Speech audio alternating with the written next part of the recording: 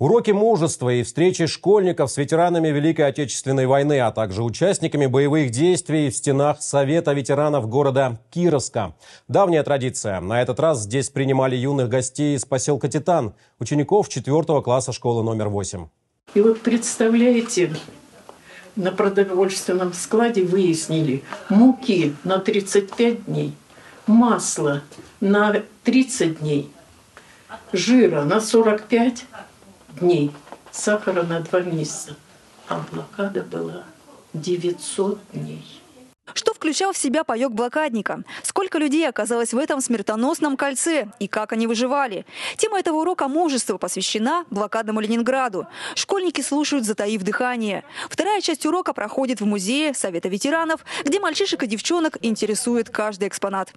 Это винтовка Мосина, называется она. С ней воевали, она до сих пор на вооружении стоит. Да. Да, с ней воевали снайпера. Если в атаку штыковую, то одевали вот так штык. О событиях Великой Отечественной войны председатель городского совета ветеранов Олег Шубин, как и нынешние школьники, знает из учебников, книг и рассказов очевидцев. А вот через Афган он прошел сам. Служил в Кабуле водителем реактивной установки «Град» и о снайперской винтовке, и о ППШ рассказывает сознанием дела. Он очень тяжелый. Он прям, он еще такой чистый, как только недавно делали. Как ты думаешь, тяжело было с ним? Да, очень тяжелый. Это нужно, это нужна большая сила, чтобы его держать. 15 февраля – День памяти о россиянах, исполнявших служебный долг за пределами Отечества. Он напоминает о важной дате – завершении вывода советских войск из Афганистана и о более чем 14 тысячах советских солдат и офицеров, не вернувшихся с той войны. Мы собираемся на Аллее Славы.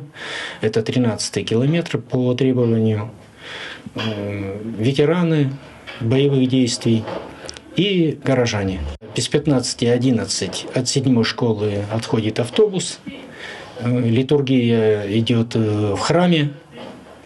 И из храма мы на этом же автобусе выезжаем на Аллею Славы, 13 километр Богослужение в Кировском храме Спаса Нерукотворенного образа Господа Иисуса Христа начнется в 11 часов, а ровно в полдень состоится памятный митинг.